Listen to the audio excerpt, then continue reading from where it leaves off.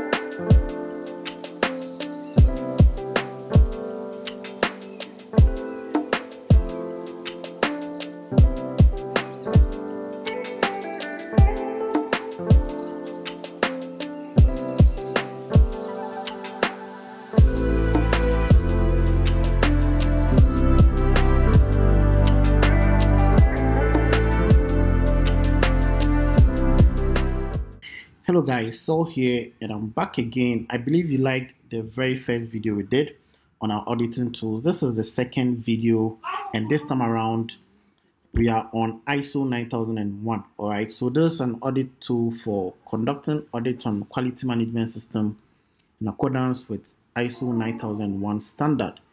And as I earlier mentioned all our auditing tools follow the same structure all right? So this one is similar to the first video. That notwithstanding, I'll just get straight into it. So we have the table of contents similar to the very first one where all the sheets are in there and we hyperlink them for easy navigation. And over here, which is the approved list, we have the list of all the root causes, all right? So this is strictly for quality management system. So we have root causes like lack of scope for the quality management system, lack of organizational knowledge, lack of leadership and commitment. So basically, given the fact that ISO standard follows the higher level structure, some of the key um, terminologies are likely to be the same, except a few ones which are strictly for quality management. All right, so you have the option to add on. Now, in terms of action priority, you have high, medium, and low, and an action status, you have open and close.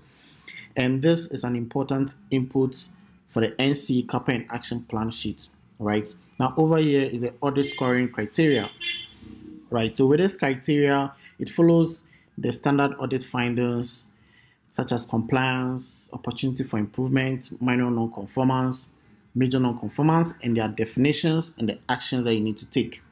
Now, this is the main audit checklist, and this is based on all the questions that are relevant, you know, to the ISO 9001 standard. So they've been extracted and populated accordingly. Now here we have the clause numbers. Over here we have the main clauses and then we have the audit questions, okay, well organized according to the clause, the sub-clause, the relevant questions, and they've all been referenced accordingly, all right? Now, if you want to review this, you can grab the password over here, and then you can open up the sheet by going to the review tab, unprotect the sheet, you enter the password, and you can have access to do further review. Now over here is dedicated for those who want to take a deep dive and provide some sort of expectations in the form of documented information. And over here we have the audit findings where you provide responses to the various questions by denoting X. And up here they've all been, you know, these are all based on calculations such that as you provide the responses, they automatically calculate right now here we have the audit findings and these are the you know sorry the audit evidence and these are all the evidences that justifies whether as per the question. It was compliant or it was a non-conformance. And then we have opportunities for improvement which you can provide in there. Now all these plays are based on calculations because you have formulas in there and they help in calculating the percent percentage levels of compliance for the various clauses and sub clauses all right now over here is the audit summary that provides a summary of all the various clauses and the sums summation or the sums of audit findings and they've all been populated in here So this sheet is pre-designed to just for information purpose and you don't have you don't have to change anything here. So this sheet actually is the source data for the dashboard and all the other reports. All right. Now we have the NC CAPA and action plan sh sheet and this sheet populates automatically as you register any non-conformance, whether major or minor. They populate automatically according to reference number, audit questions, main main clauses, and the sub clauses. And then you would have to take your time to provide, you know, the root cause and then the corrective and preventive action. You assign a person responsible, you set a date, and then you can have you can then assign the priority to it and then the, whether action is open or closed. Now, as you provide, you know, the target date automatically, and then if the action is opened, all right, if the action is opened,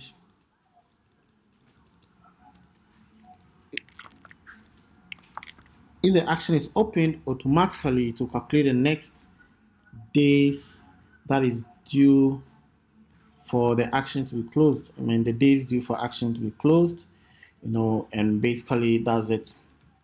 Right, and here we have the audit report. There's a template that we provided for users to utilize in preparing their audit report in case you don't have any specific you know template to use next is a dashboard now this is the most exciting part of the template because you're able to tell the performance of the organization at a glance so here we have the total number of audit questions within the the template and we have you know the the number of um, questions that are in compliance the number that the number of major NC minor NC and OFI. And over here we have the percentage levels of compliance for all those clauses from context to improvement. And we have the sum of audit findings according to the various clauses as they show here. Right, basically, let me just highlight it properly so that you can see. Perfect, there you have it. Right, and here we have the overall audit score that shows the performance of the organization. So we, we have the slicer there that you can use just to view various you know sections of of the of the report. Now here we have the various levels of compliance, which are basically tables and graphs, which we used to create a dashboard. And then here we have the various subclauses with their reference numbers, and they are arranged chronologically from 4.1 all the way to 10.3, and then we have the various levels of compliance. And then here we have the audit, you know, the action status actually, which is coming from the non-conformance CAPA action plan sheet. So over here we have two actions that are closed, all right? So over here, I should see the same thing. So basically, if I click on refresh all, all right, that's it right there. So we have two actions that are closed. So this sheet is very, very simple to use. In order to use this tool, first and foremost, you need to make sure that you get rid of all the data. So without wasting time, let me get, let me quickly do that.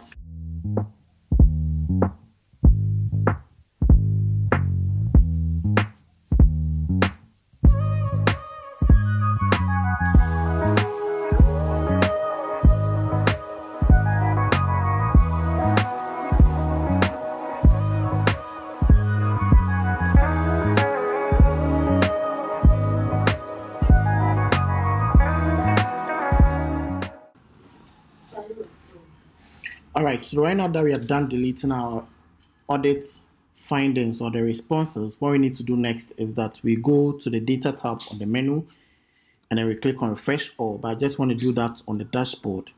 So when I click on refresh all, you realize everything within the workbook, you know, vanishes. As you can see, everything is gone except this because this one is coming from the non-conformance CAPA action plan sheet. Now, we have some data in there. So what we need to do now is that we take our time to get rid of all these ones.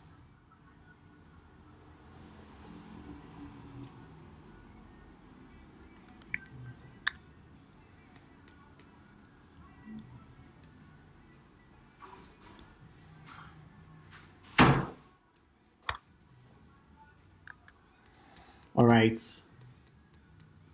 and then once we are done we make sure that we click on refresh all ah, we have a lot more in there so I need to get rid of it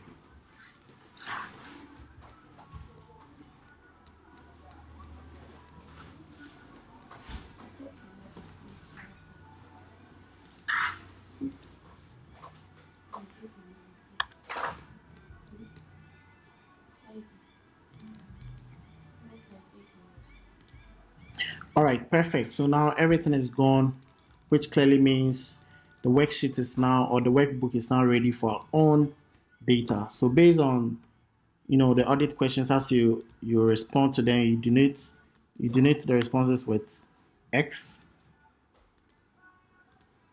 and then they get populated on the, you know, the action plan sheet, and then you take your time to provide, you know, the root causes, you provide a corrective action.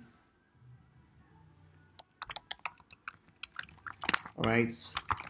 And then you make sure that you provide person responsible.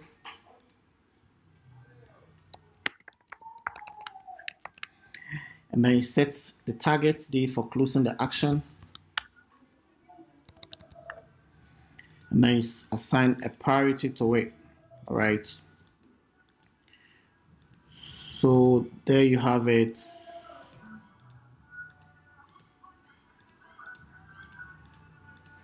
and then when we are done with the audit we click on refresh all right and then you realize that they begin to update.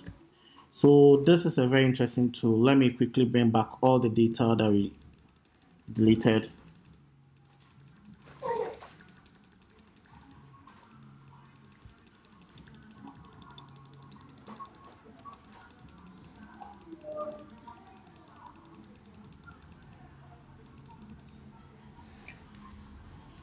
so now we have our data back. I just click on refresh all to make sure that everything updates. And then we are back to where we started. All right so guys this is a very interesting template. This is strictly for iso 9001 quality management system. Um, if it's this is something that you're interested in don't hesitate to get in touch. Thank you very much for your attention